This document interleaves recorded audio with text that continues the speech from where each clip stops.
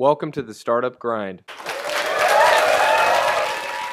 So I was working for a think tank doing, uh, I don't know, IT type work for a summer. This was in 1975, so I'm, you know, still a college kid. Yeah. And a coworker comes in after lunch, and I had just stayed at my desk and kind of had work, worked through lunch. And this guy comes back and he says, "You're not going to believe this. I was just in a retail store where you can rent a computer terminal, like an IBM 3270. That was a classic, you know, green phosphor display, or a KSR 33. Anybody here ever heard of that?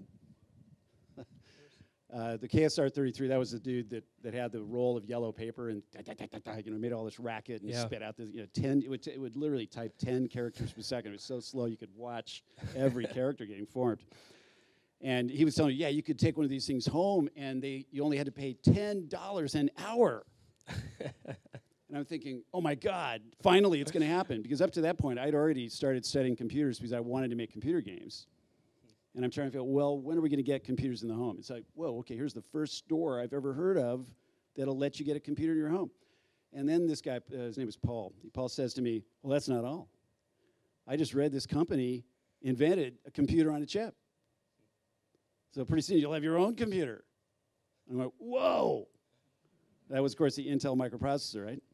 By the way, that store, that was Paul Heiser's store.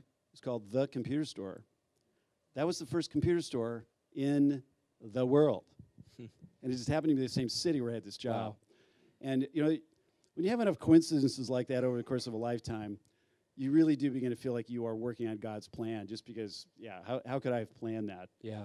And you know, going back to Steve Jobs, you know, this is the beginning. Seventy-five. That's basically uh, around the time that they're getting started. They hadn't really uh, built a commercial product yet, but Dick Heiser, that was one of our first customers.